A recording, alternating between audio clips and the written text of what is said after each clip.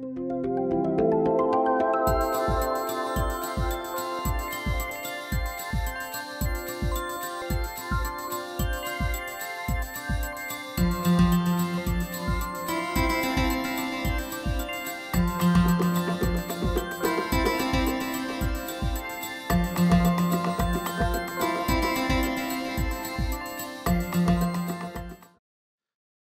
学薬学分野でジャパンプライズを受賞されましたカリフォルニア大学サンディエゴ校医学部小児科教授のセオドア・フリードマン博士とコレージ・ド・フランス教授イマジン研究所所長のアラン・フィッシャー博士をお呼びしたいと思います。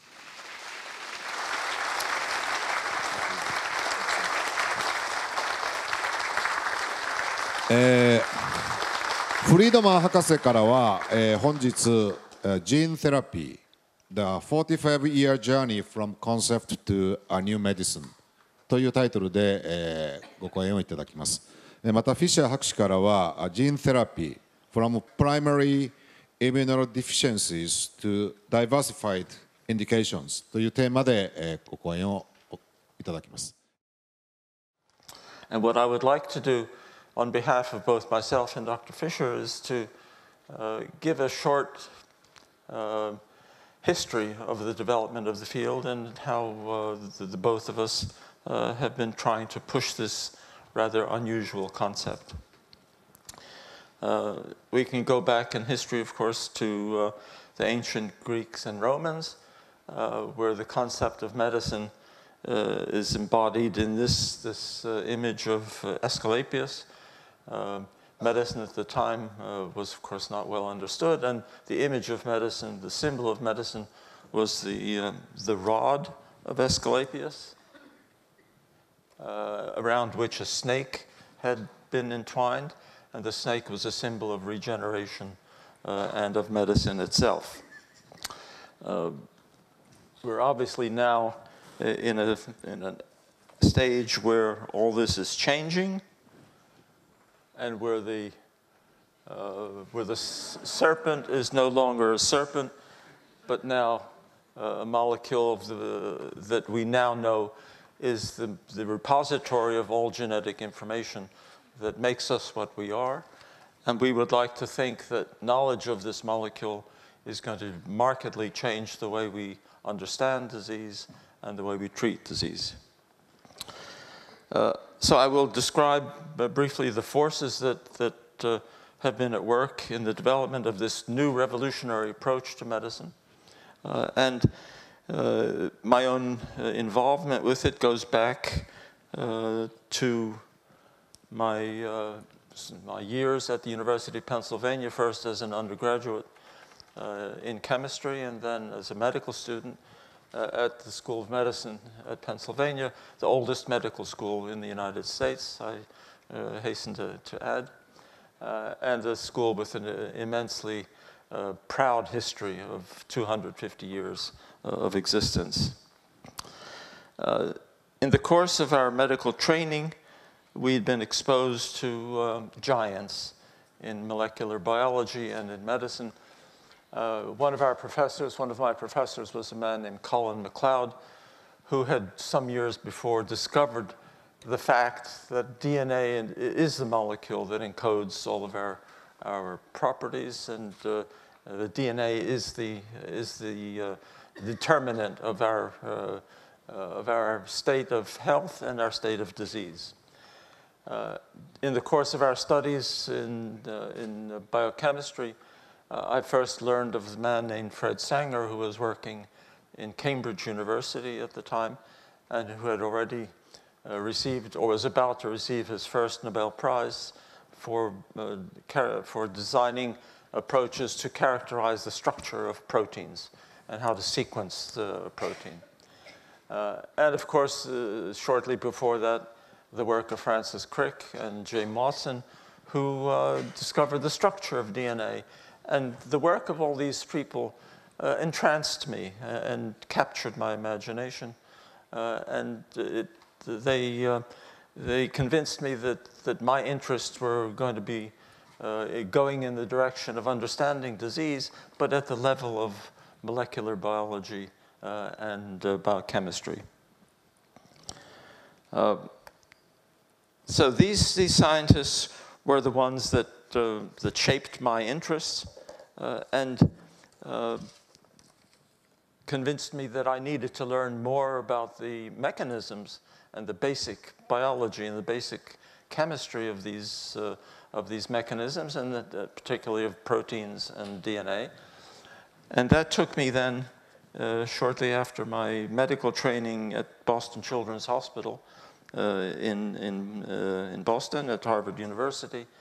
Uh, I wanted to learn more about the chemistry of these molecules and um, went for several years experience to the University of Cambridge uh, to try to work with the people who were sort of establishing this field of molecular biology and pushing the forefronts, creating the frontiers of, of molecular medicine.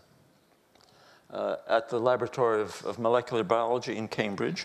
And it was in 1963 that I went there and uh, met and, and uh, uh, was taken into the lives of two of the most important people in my life, uh, in no particular order. One, Fred Sanger, with whom I had sort of fallen in love in medical school, uh, and I wanted very much to work with him, and uh, he graciously accepted me into his laboratory. And so I, I, had the privilege of, of learning from really one of the great world masters. The other person who took me into her life was uh, uh, my wife Ingrid, who was uh, working in Cambridge at the time. Ingrid Strömberg, who was an occupational therapist uh, in Cambridge. Uh, and she became my wife and still is my wife and is here in the audience. She is my first wife and still.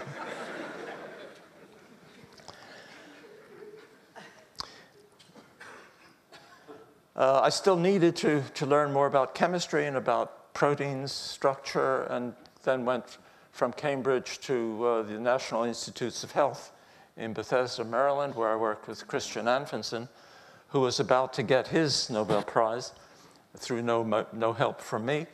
Um, but uh, I worked with him for, for two years, uh, and that was a wonderful experience, but I still needed to move more effectively to human clinical genetics. I wanted to apply uh, all this knowledge to a human uh, disease condition.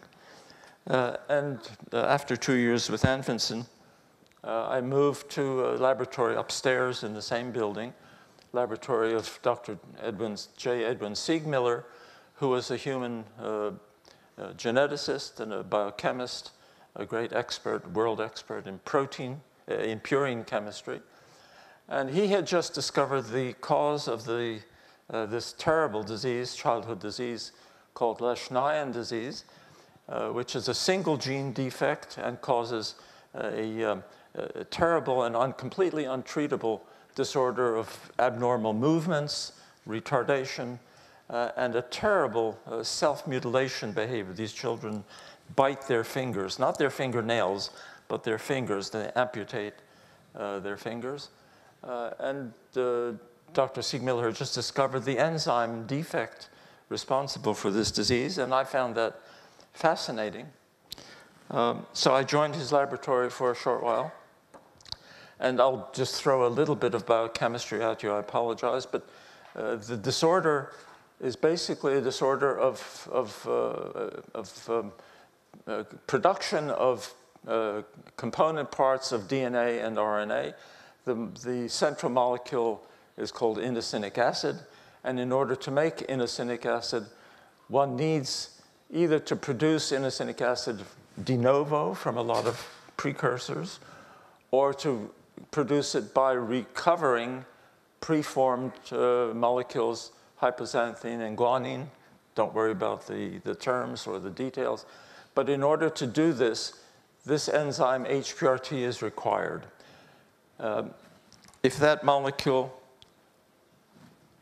well, in the presence of this, this enzyme, if you feed cells radio, radioactive form of this hypoxanthine molecule, HPRT will incorporate this radioactive material into the cell, and the cells will, become radioactively labeled. So you see these little dark spots all over the, uh, the cell. Those are bits of radioactivity that have resulted from the, ac the action of this HPRT enzyme. If that enzyme is gone, as Dr. Seegmiller uh, showed in these children, the cells are unable to incorporate uh, radioactive hypoxanthine. They cannot take this radioactivity into, their, uh, into the cell, and this, so therefore they do not become radioactive, and all these little spots here are just noise and dirt. This is not really radioactive uh, incorporation. So, working with, with uh, Dr. Seegmiller, uh, an idea occurred to us, and by us I mean uh, mostly to uh, this wonderful biochemist from Scotland by the name of John Subak-Sharpe. Uh, and he was spending a, a, year or two at the National Institutes of Health. And he understood the, the, the power of this system, and, and we discussed the possibility of using this system to test a very interesting new question, and that question is, can we take abnormal cells from these children that are missing the enzyme HPRT, can we correct those cells by simply putting DNA onto the, onto the culture of these cells? The cells growing in, in petri dishes in the laboratory, there are millions and millions of cells growing here. And the question that we asked was if we drip normal DNA onto these cells, can we correct them? So again, this is a cell uh, that has not been exposed to DNA but was, uh, is deficient in HPRT. It's an abnormal cell, but it does not have the enzyme to incorporate radioactivity. And after exposing the cell to radioactivity, nothing happens. These cells are, are incapable of, of incorporating the material. But we discovered then in this experiment when we dripped normal DNA onto the cells, this is what happened uh, in a very small number of cells, and small number meaning one in, in a million or, or less, a very small number of cells became radioactively labeled, meaning that they had recovered the function of this previously missing uh, gene, pre previously missing enzyme. And so we couldn't resist the interpretation of this uh, result. Uh, we wanted very much to, uh, to read into this experiment the possibility uh, that if we expose diseased cells to normal DNA, that we could correct a, a genetic defect. This was at a time before it was possible to really purify these uh, specific genes, but total DNA from a cell was able to correct the, the defect. And so we were intrigued with the possibility that this might suggest a new phenomenon that is gene therapy. We're treating uh, a, defective cell with a gene, uh, with an enzyme defect that's caused by a mutation. We're treating that by putting normal DNA into cells. That was the hope. So here's the way we interpreted it. This is the normal, this is DNA with a mutation in, in a gene somewhere. Let's say this is HPRT gene. If this mutation uh, is, is present in the DNA, it prevents the production of this enzyme, which means that the, metabolo the metabolism of this cell is disrupted. So these important pathways do not function. This pathway is not functioning, and that leads to disease. Um, Classically, medicine involves treating genetic disease and all other diseases everywhere except where the defect is. That's the defect, and we're throwing uh, treatments at cells and at, at patients uh, at, at, positions where there's no defect, but just simply symptomatic and, and the phenomenological uh, modification of the cells. And so we wondered if it's possible to attack the defective gene itself. Let's fix what's broken. If what's broken is a gene, let's see if we can fix the gene. Uh, it was clear that this, that this phenomenon was very inefficient. I, I, said a moment ago that we were able to correct one cell out of a million or, or, or less. And so it was absolutely necessary to increase the efficiency of this process. And uh, I had become aware of the work um, at the same time of this uh, man, Renato Dulbecco, who was in San Diego at the time, in La Jolla. And Dulbecco and his colleagues had just discovered that a tumor virus, a virus that converts a normal cell to a, cancer cell, it does its work by doing exactly what we wanted to do that is, taking a foreign piece of, of uh, genetic information, a foreign DNA, and inserting it into the cell and forever changing that cell. So the, the infection of cells with tumor viruses does its nasty work by, by expressing a new gene in a permanent way in the cell. And so we, we thought, is it possible to trick the virus into carrying not a, a, a cancer gene, but a normal gene? And to use that, that kind of virus as a vector, as a moving van, to take uh, uh, normal DNA into cells and correct genetic defects. Uh, so we published this uh, thought piece in 1972, which was not based on, on uh, experimental uh, results, but rather on the concept uh, that I just explained to you, that we should be able to fix the genetic defect by gene therapy, by fixing the gene. And we proposed uh, the use of, of, viruses that we could try to engineer to carry other, uh, other genes, not their own disease-causing genes, but other therapeutic genes. And by we, I mean uh, my colleague Richard Roblin here, uh, who was my benchmate at the, at the time, and we uh, prepared this paper for publication. Uh, that was fine. It was still a concept. It was still a theoretical uh, construct and not a, uh, not a reality. Um, and so I knew that I needed to learn more about DNA and DNA chemistry and DNA structure. And so I went, my, went to, back to the laboratory of Fred Sanger, who by this time had his first Nobel Prize and was uh, working on techniques uh, that were going to earn him his second Nobel Prize a few years later.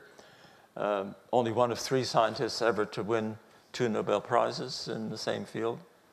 Uh, and again, he graciously took me back into his laboratory, and we published uh, a couple of papers together, which were the first papers showing the, uh, the full uh, DNA sequence of a virus genome.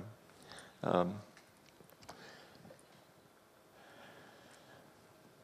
then, with, armed with that concept and with that uh, background, I came back to my laboratory in La Jolla, uh, and we, uh, we started to work on techniques for taking a virus, this is a, a diagram of a virus, and tricking it by removing its own DNA, its own genes, removing the disease-causing genes, and then inserting uh, potentially therapeutic new genes into this virus and then taking advantage of the fact that a virus is a very efficient uh, gene transferring tool, uh, and then use this as a, uh, as a uh, moving van uh, for putting new genes into cells.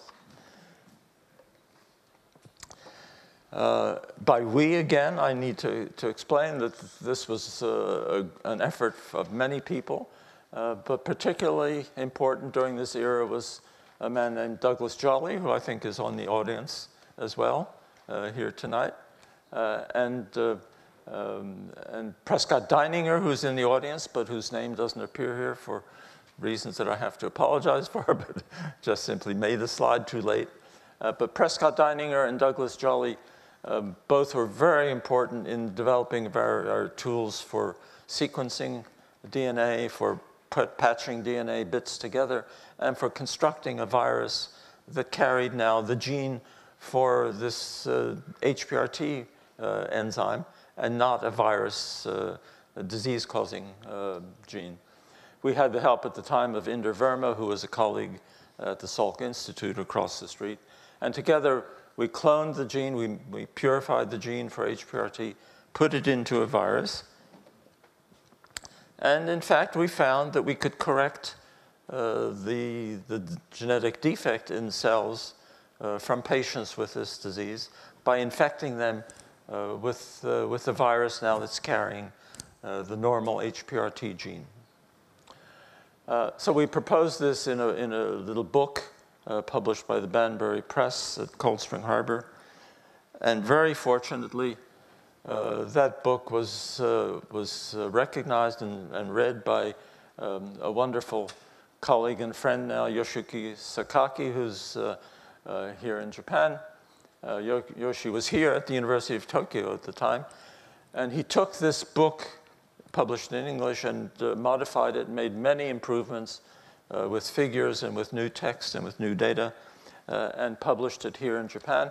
And I think it was an important event uh, in the uh, promulgation of, of, and the popularization of the fields here in Japan and worldwide. In addition, we had the, uh, the, enormous good luck of having in the laboratory Nobuhiko Emi, who is now uh, at the Fujita Health University. And Emi designed a method for changing the structure of this virus uh, to, re to replace these little knobs that sit on the outside of the virus. These knobs are the knobs that are responsible for recognizing a, a cell and allowing it to enter a cell. That's, that's how a virus gets into a cell.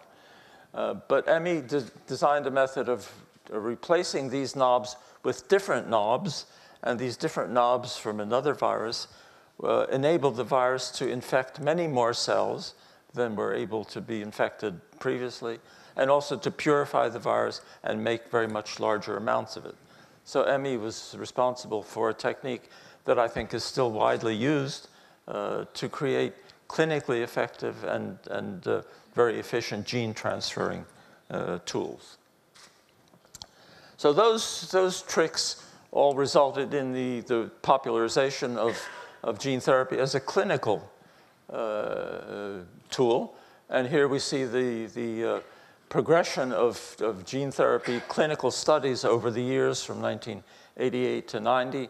This is the number of, of uh, proposals that were submitted to the National Institutes of Health in the US. And you can see that there is a, a, a very nice growth of, of clinical studies.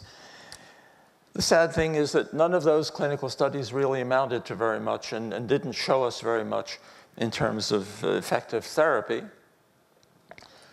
That all changed in, in uh, 1999 or 2000, and with this publication in 2002 from, from my, uh, uh, my friend and co-winner uh, of this, uh, this year's uh, Japan Prize, um, Alain Fischer, who published in 2002 the very first evidence of sustained correction of a disease using this kind of virus to introduce a new gene into cells.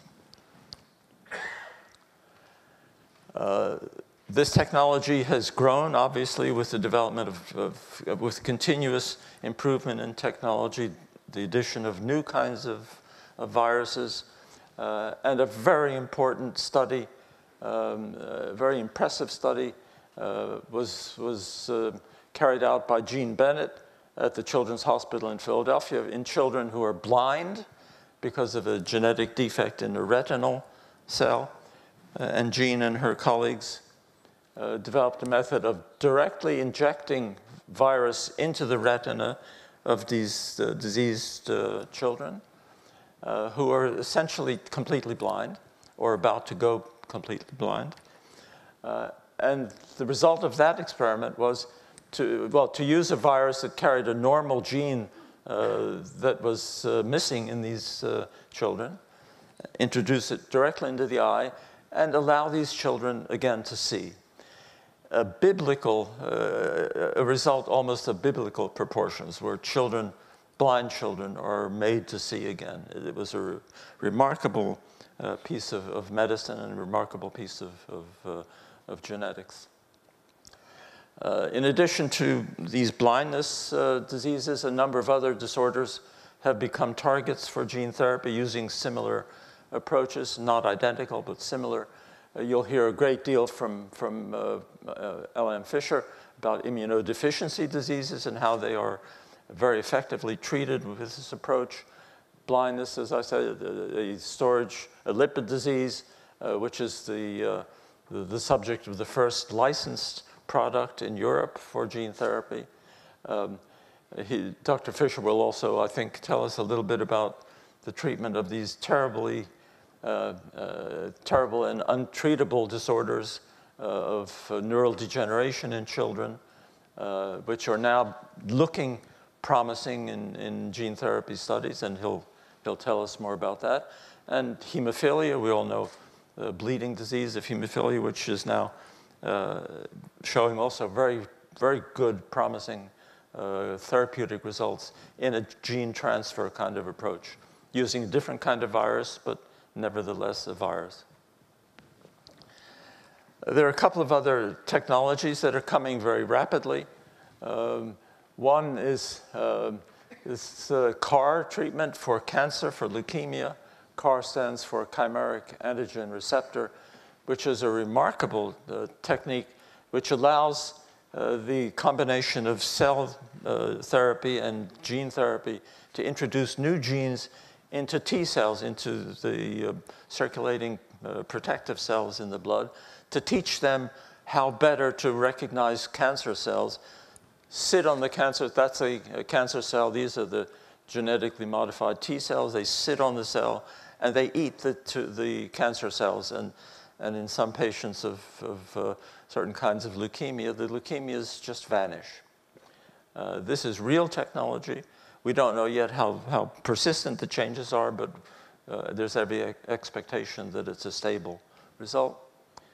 There's another technology that's coming in gene therapy that involves a new approach to immunization, let's say for immunization for HIV um, infection, in which a gene is introduced into muscle. This gene encodes a protective antibody. The muscle then makes the antibody and pours it into the blood circulation. Uh, the blood, of course, is circulated to all the tissues and prevents HIV from sitting down and infecting a cell. Uh, this is uh, certainly going to be a, an important new approach uh, to immunization. Uh, there's a technology that's coming uh, that's remarkable. all the techniques I've described to you so far have been techniques in which we've added genes to an existing genome.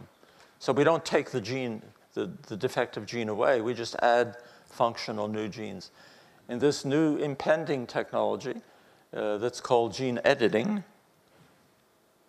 Um, that, that technology is intended to fix the defect in the spelling, in the gene uh, DNA spelling. If that's a normal DNA sequence, if a disease sequence changes this base from a G to a C, uh, there are techniques now coming that are just simply going to correct that spelling with no footprint of ever having seen a virus or ever having seen a foreign gene, a foreign uh, vector.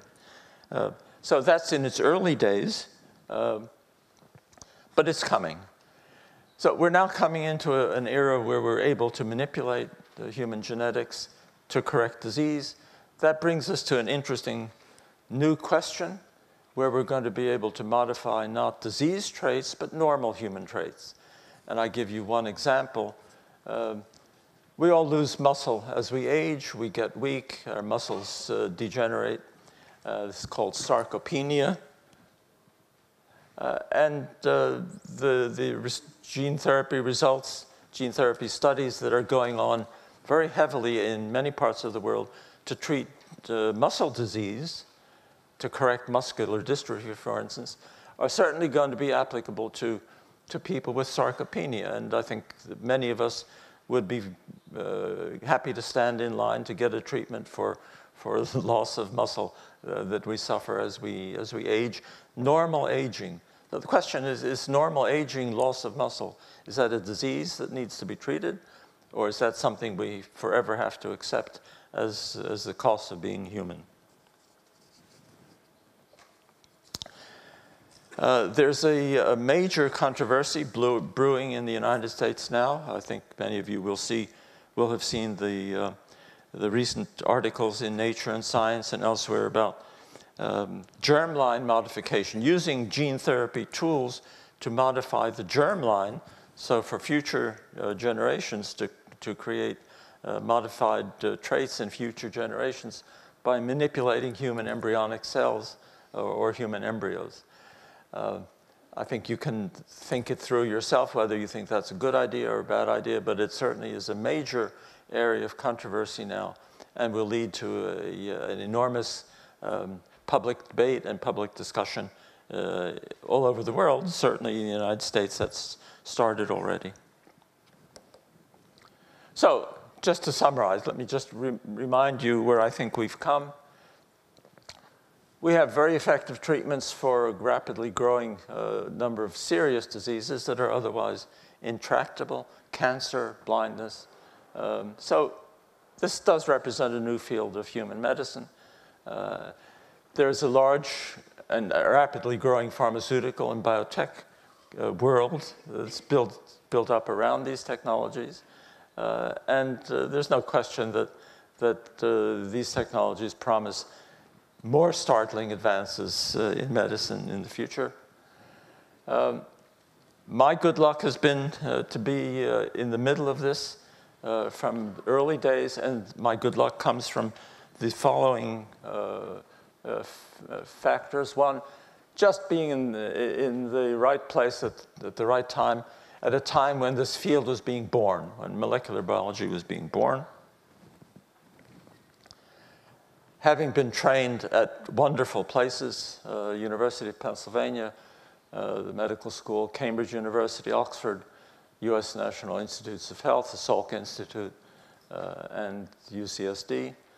Um, friendship and, and uh, collaboration with some of the giants of 20th century uh, medicine, science, um, who've encouraged me and, and, uh, and been tolerant of, of my ignorance and my, my inexperience, uh, but have always been uh, proponents of attacking a big problem of course, the many concept, the many colleagues who've worked uh, with me and with, uh, uh with our friends to turn this into a clinical reality. And again, with special thanks uh, to Ilan Fisher for taking our concepts and other people's concepts, the bones of, of gene therapy, and putting muscle and, and flesh on it um, for the first time. And of course, the Japan Prize Foundation for recognizing this field as an important new area and for recognizing the contributions that, uh, that we've tried to make. So, briefly, my mentors uh, who have led me to this, uh, this stage, um, uh, just remind you that, uh, that we all gather garlands from other people's flowers. Uh, and these people have, have been enormously important in, in designing my interests. Jay Siegmiller at the NIH, Subek Sharp, uh, uh, Jacob Bronowski, Fred Sanger with his two Nobel Prizes, Christian Anfinsen with only one, uh, and Nado Delbecco with only one. But great friends and great mentors and very patient. These are some of the wonderful people who've uh, been working with me. Uh, Douglas Jolly, who's here, uh, Prescott Deininger, who's here, and Nobuhiko Emi. I mentioned before the important contribution he made to structuring the virus.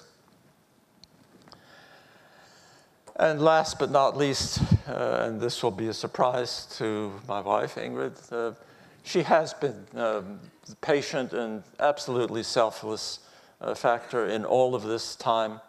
Um, and uh, special thanks go to her. Uh, there is a, very uh, wonderful Swedish poet, Dan Andersson, who has written um, a nice uh, poem describing some of the importance of these intangible things that go into making us good human beings. And he wrote, Der något bortom blommorna och, och song. And so there's nothing, there's nothing beyond flowers and songs, is the literal translation of this. And so uh, to Ingrid, I say, tack för blommorna sången. And thank you to the, the Japan Prize Foundation, of course, for their graciousness and for their uh, wonderful acknowledgement of the work that we've been trying to do uh, in this area. Thank you very much.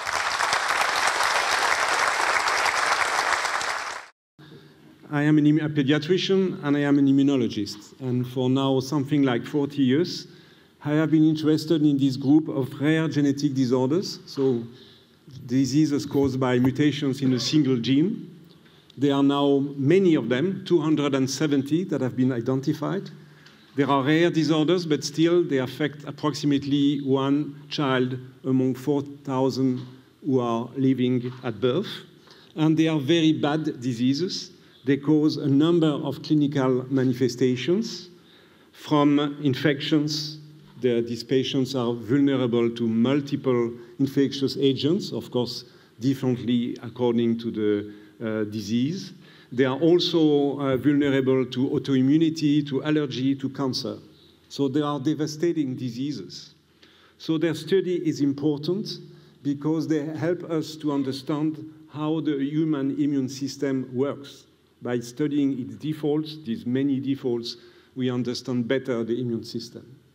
But also, of course, we want to treat these poor affected patients, especially children, and we want to develop therapeutics. And perhaps, as I will try to uh, discuss it with you, we uh, may consider that to develop a therapeutic for a, such a rare disorder may also benefit other patients with more common diseases.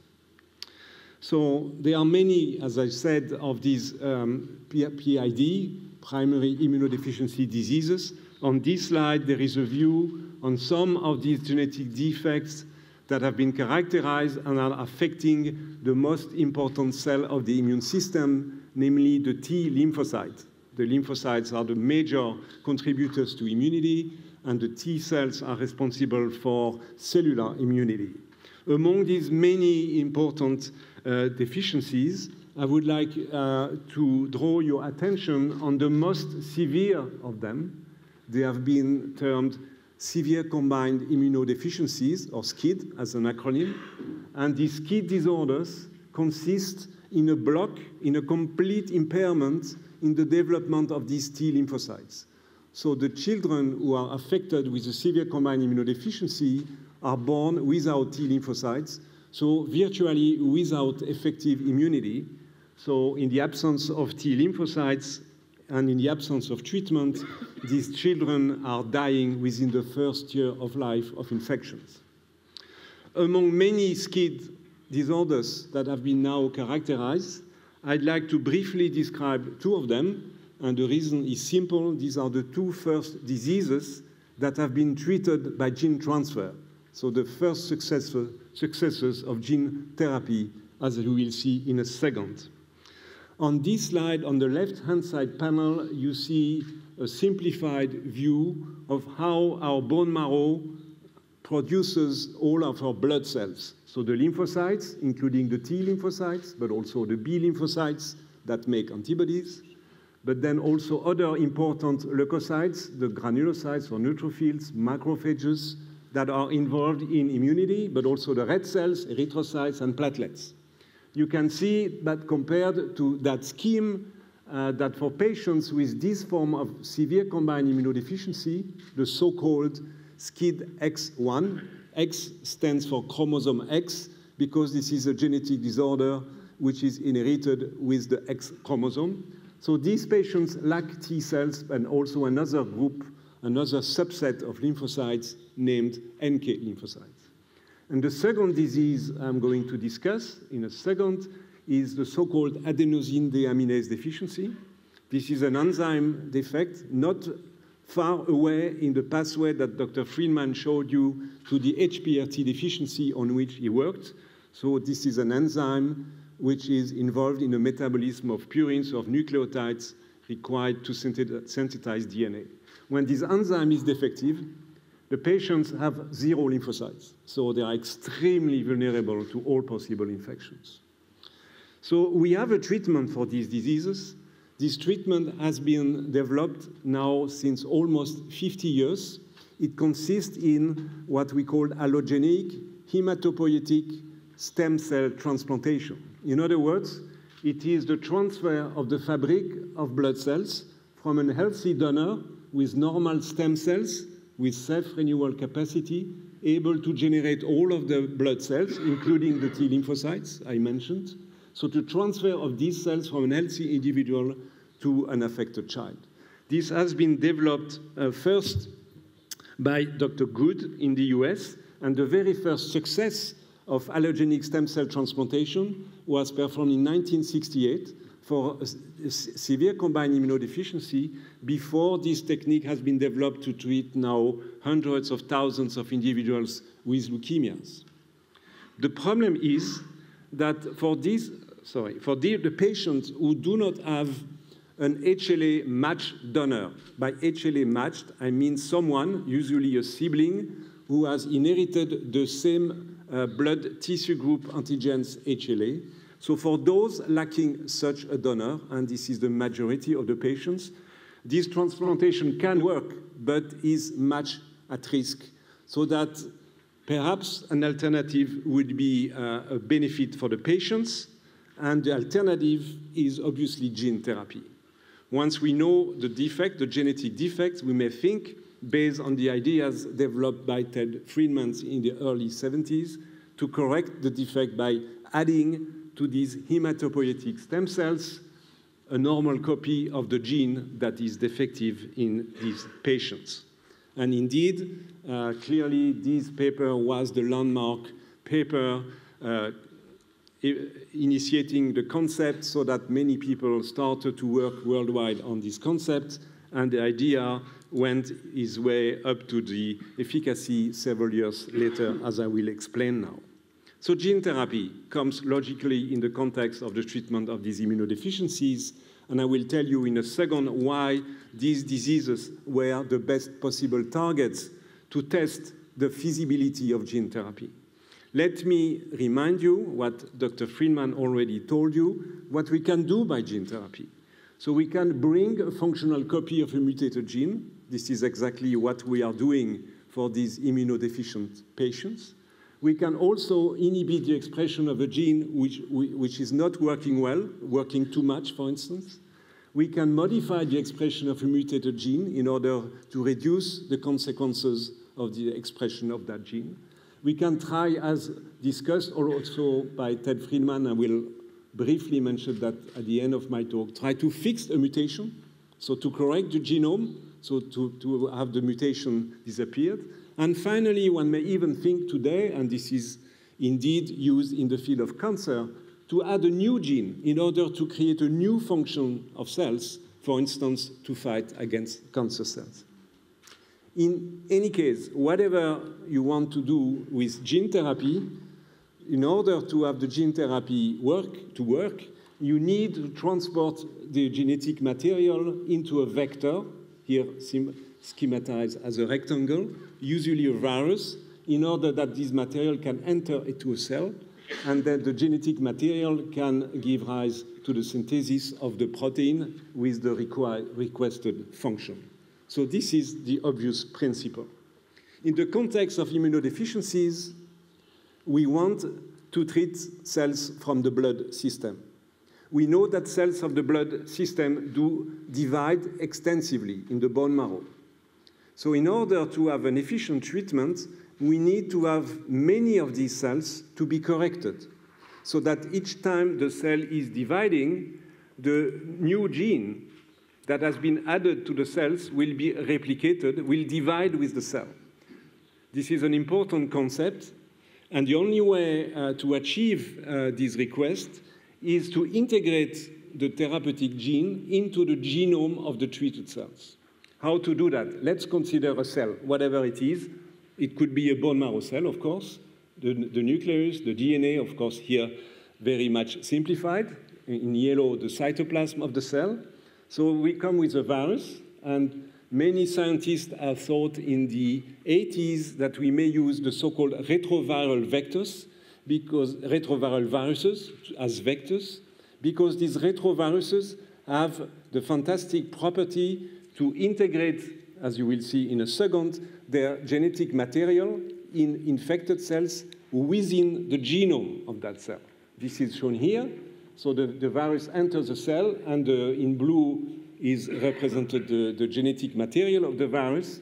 And once entering the nucleus, and this is very simplified, this material is now integrated into a chromosome somewhere in the genome, so that this so-called cassette that will give rise to the therapeutic gene in the context of gene therapy will be replicated each time this cell will divide. So this is a very important concept that was established in the 80s and was absolutely necessary to uh, see the gene therapy to work, that is, to have the delivery of the functional protein with the therapeutic effect. So back to the disease. Now I will explain to you why these severe combined immunodeficiencies were the best possible targets. For that, we have to enter into a little bit more detail.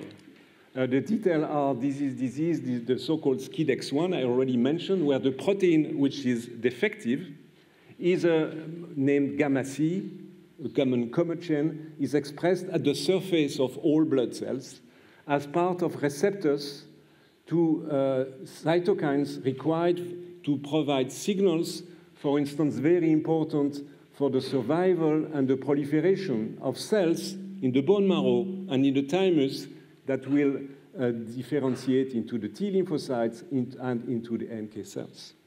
And we thought about 20 years ago with my colleague and friend Geneviève de Saint-Basile that this disease will be the very best possible model to tackle whether gene therapy would be feasible. Why? Because we studied a single patient who had this devastating disease where normally there are no T cells, no NK cells left because of the mutation. In that patient, despite the presence of the mutation, surprisingly, he had a number of these T lymphocytes, the, the two subsets of them, CD4 and CD8, expressing normally the protein that was supposed to be defective. And the only possible explanation to account for that phenomenon is that by chance, a precursor cell giving rise to T cells was uh, underwent a reverse mutation, so that the mutation by chance was corrected in a cell, and that that cell was able to divide and differentiate in many T lymphocytes. That actually what happened in this patient is a natural form of gene therapy. By chance, his disease was not cured, but was very much improved. So at that time, we reasoned that if by chance by, uh, there is the spontaneous correction of one cell provides a clinical benefit, we might be able to engineer the same phenomenon in more cells and being eff effective. So this is how and when, in the 90s, we entered the field of gene therapy coming from the field of primary immunodeficiencies. So we did so, and uh, by we, I mean these two key people, uh, Euh, Dr. Sali, Professor now Salima Hassenbeh Abina and Professor Marina Cavazzana, who have been instrumental in the development of this gene therapy for SCIDEX1 and then for other diseases. The way to do it, let's, this is a child, a small child affected with the disease. We take some of these cells from the bone marrow under anesthesia, and these cells are then selected to take care only of the precursor cells. The precursor cells are activated to divide in order that the vector, the virus, will enter and integrate better into these cells. Then the cells are infected three times in three days and injected back to the patient. A little bit more detail, these are the engineered retroviral viruses as we were producing them in the late 90s, following the advances made by many scientists throughout the world. And of course, these vectors were designed to carry the gene encoding this gamma C protein.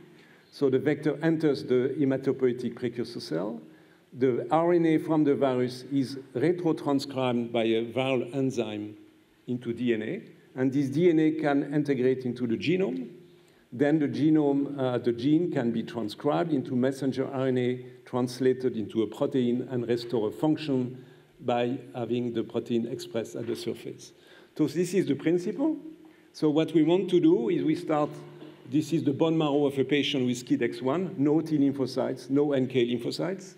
So we introduce the therapeutic gene into stem cells or precursor cells, and this gives rise to T lymphocytes and NK lymphocytes. That's exactly the goal of what we wanted to do when we initiated the first clinical trial for that disease in 1999. And to our great pleasure, I have to say, um, we uh, indeed it worked. And here is the summary of two clinical trials that were performed for that disease, the first one in Paris, then a second one by our colleagues from London, Adrian Strascher, and together 20 patients were treated between 1999 and 2006.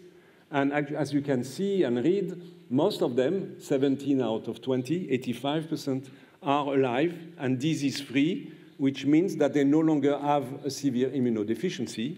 And as you can see, there hasn't been any loss uh, following the first years.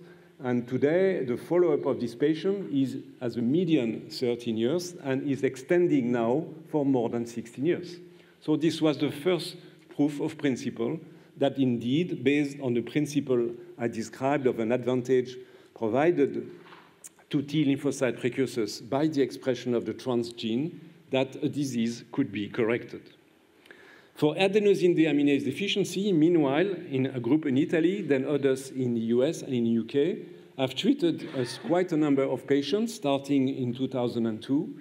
Altogether 42 patients, and 31 of them today are living without the requirement for a possible treatment, which is enzyme substitution from the adenosine deaminase, and with a median follow-up of more than seven years, extending to 40 years. So altogether, close to 50 patients have benefited from both of these diseases, have benefited from gene therapy, and the effect, and this is of course very important, is sustained over time. But things are not that easy. On the way along the, the treatment of these patients, we also uh, observed that some of them, one in four in, among the patients with SCID X1, developed a serious adverse event which was a kind of leukemia, which was unfortunately fatal in one case. And obviously, the occurrence of these severe complications led to the interruptions of the trials in the years 2003 up to 2006.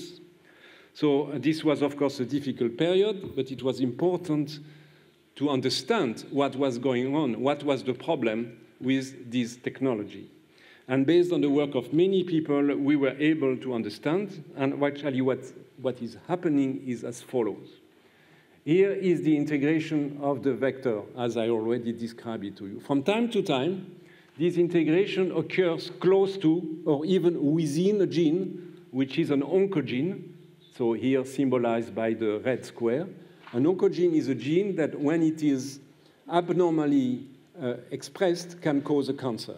So what happened uh, in the case of these unfortunate patients is that a certain sequence of the virus, named an enhancer, has been able to abnormally induce the expression of the oncogene so that it is transactivated, this is the scientific name, leading to abnormal cell proliferation and cancer. So this was understood pretty rapidly, uh, but of course this was a major setback, and at that time, for instance in 2003, uh, the famous and prestigious journal Nature concluded from uh, these adverse events that gene therapy was almost dead. As you can read, cancer fears cast doubts on future of gene therapy. So there were very negative comments at that time, including uh, this prestigious journal. Interestingly enough, six years later, the same journal, always very strong in his statements, says or writes gene therapy deserves a fresh chance. So in six years of time, the Nature journal changed its mind about gene therapy. So it is interesting to understand what happened during these six years so that Nature uh, went from a very negative comment to a positive comment. What happened is that based on the understanding of the mechanism that was leading to leukemia, new efforts were made by many people, and some of the names are shown here, and there are others, to develop vectors that were safer. That means that they were unable to induce the activation of the oncogene. Here is the situation of an integration of the vector within an oncogene, so exactly what happened in uh, the patients who develop leukemia. This is the vector, the transgene is here, and important is the sequence here drawn in orange, because this is the enhancer activity, which is able to act on the promoter of the oncogene so that the, the oncogene is transcribed according to this uh, scheme and a lot of proteins inducing the cancer effect. What was um, proposed and now implemented is to delete the sequence within this part of the virus, the genome of the virus, within the U3 sequence. So see now it's very small. So the enhancer activity is gone. So it is expected that such vectors will no longer be able to transactivate an oncogene or even another gene. But in order to have the, the transgene, which is the therapeutic gene, to be expressed, we needed to add what is called a promoter to induce the physio not physiological, but the required transcription of the, trans of the transgene. So such constructions of viral vectors have been developed by many people, and we have been using such vectors to treat SCID-X1, and they are collectively named self-inactivated vectors because they are unable of this transactivation phenomenon, and their usage has been now implemented in new clinical trials, and you will see now the results explaining the new comment of the Nature journal. And this is, of course, a bit too many details, but just to tell you, we started a second trial, also in common with colleagues in UK in the US, for the very same disease, SCID-X1. And in this second trial that now has been completed, we were fortunate to see that patients developed the T cells as we, uh, of course, wished to, uh, to do. They had CD4 T cells, CD8 T cells, young T cells, so-called naive T cells. The kinetics of development after the months following gene therapy was more or less the same as in the first treatment, and also we could demonstrate that the T cells were functioning. So the efficacy is there. And in addition to efficacy, in the context of what I described, what was expected is safety.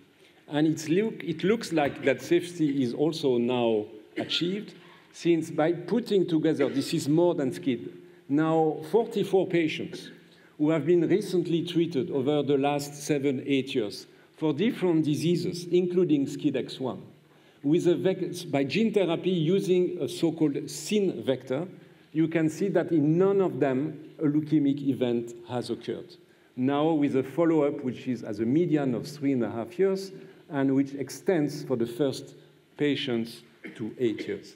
And of course, this is in sharp contrast to what happened in previous trials, the SCID-X1 trials I mentioned, but also other trials performed for other immunodeficiencies, notably in Germany, where you can see from this curve that approximately half of these 30 patients developed leukemia following gene therapy. Of course, this is totally unacceptable, but this new figure, these data from several trials performed in different places in the world are extremely encouraging to conclude that the new vectors are safer.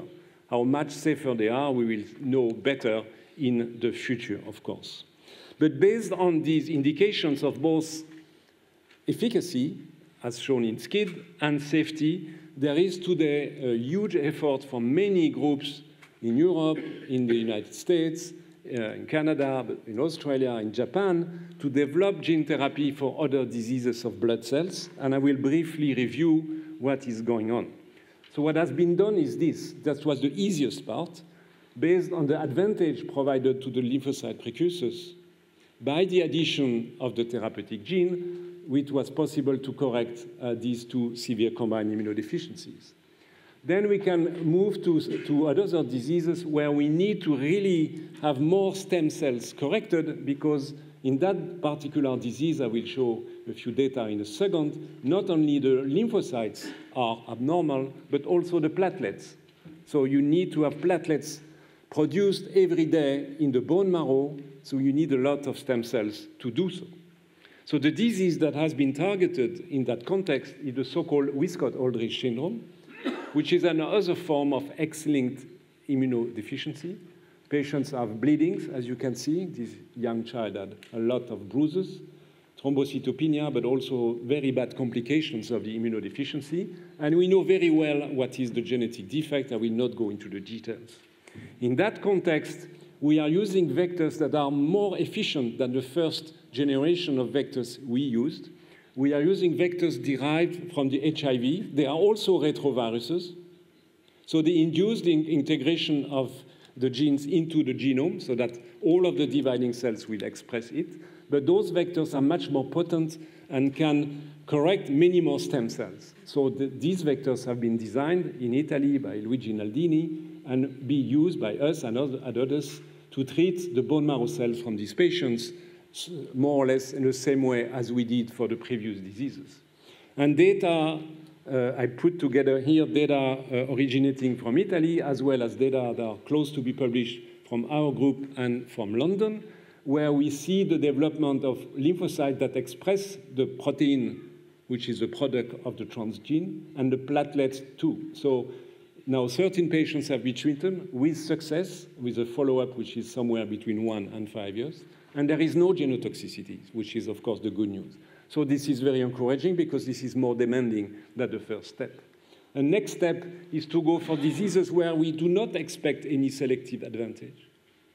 That is, the transgene is not going to provide the cells any advantage in proliferation. It's the gene is important for the function of the cells, but not the proliferation. One example, diseases affecting macrophages, metabolic diseases, leading to bad neurological impairment. Uh, Dr. Friedmann mentioned them uh, during his talk. I will just give you the example taken from the study of group in Italy, uh, where they have treated uh, patients with this devastating disease named metachromatic leukodystrophy, where children have literally their brain destroyed by accumulation of toxic substances into their brain. So what they have shown is that they, are, they can achieve even higher levels of the enzyme, which is, which is defective in these patients, by introducing many copies of the genes into the cells from the bone marrow. So they achieved supraphysiological level of expression of the enzyme, ARSA, including in the cerebrospinal fluid, indicating passage into the, uh, the nervous system. And very importantly, this results in the prevention of the lesions of the of the brain as shown here by MRI, magnetic resonance imaging. This is control patients who have not been treated. You see the degradation. Everything which is white is abnormal. And these are patients, uh, one patient two years post gene therapy, this is stable, no degradation. So this is very encouraging. One step further, I will skip that one, is to go to even one step further into the difficulty is to get expression only in one set of cells in order to avoid toxicity. And this is, for instance, what is required to treat very important disorders because they are not that rare, that are genetic disorders of hemoglobin, like sickle cell disease or beta thalassemia. And here we want the, the, the, the, therapeutic gene, which is the beta globin, so one chain of hemoglobin, to be expressed only by the, by the red cells not by other cells of the bone marrow, in order to avoid toxicity. For that, you have to design much more complicated vectors. Two examples here, but the principle is the same. In addition to the therapeutic gene, so encoding the human beta globin gene, you need also to transfer other pieces of DNA which are controlling the expression of the beta gene so that it is expressed only in red cells. There are several clinical trials ongoing to correct beta thalassemia or sickle cell disease. I'd like just to mention the very first patient who was treated now some time ago in 2007, who had um, quite a severe form of beta thalassemia. And since that time, so one year after gene therapy, this guy is not requiring any longer transfusion. His hemoglobin level is not normal, but it's good enough so that he does not require blood transfusion now for more than, eight, more than seven years. So this is encouraging, very preliminary, but suggesting that even for that difficult disease to treat by gene transfer, gene therapy might be an option for the future.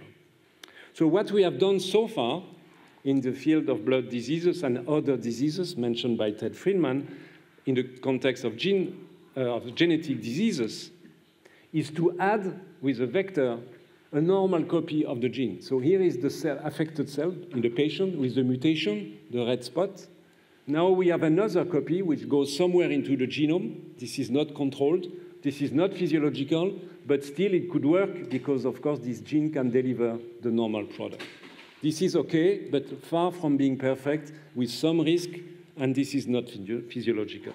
Perhaps in the future we may consider the second avenue here to correct, to fix a defect that was already mentioned by Dr. Friedmann, which is, and of course this is much more elegant, to fix the mutation. So that is uh, to subtract, if I may say so, the mutation and replace it by a normal stretch with the normal sequence of the gene.